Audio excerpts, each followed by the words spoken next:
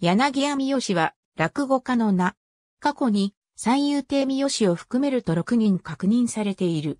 二代目柳家三好9月没年不詳は落語家、音曲師。本名、中田宗太郎。実施は四代目立花屋縁吉見。はじめ、明治初年頃、座り踊りの名人と言われた夢、タスクの門で、朝寝坊小夢から荘園さん。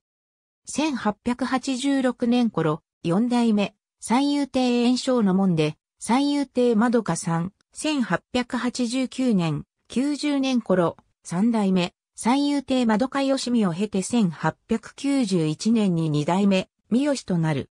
1912年には、最初の師匠の名前、立花柳石浮世夢、タスクを名乗る。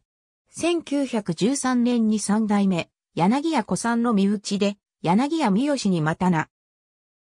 明治末から大正期にかけて、音曲師として四代目立花や、縁、今日の膝代わりで評価を受ける。関東大震災頃まで活動していたが、その後引退。六代目、三遊亭炎症によると1929年、30年頃まで健在だったという。目がくぼんでいたため、後ろ目の三好と言われ、自身も私の目玉は年々引き込んで参りまして、今に後ろの方に出てしまいましょう。そうしたら、初体を神楽坂で持ちますよ。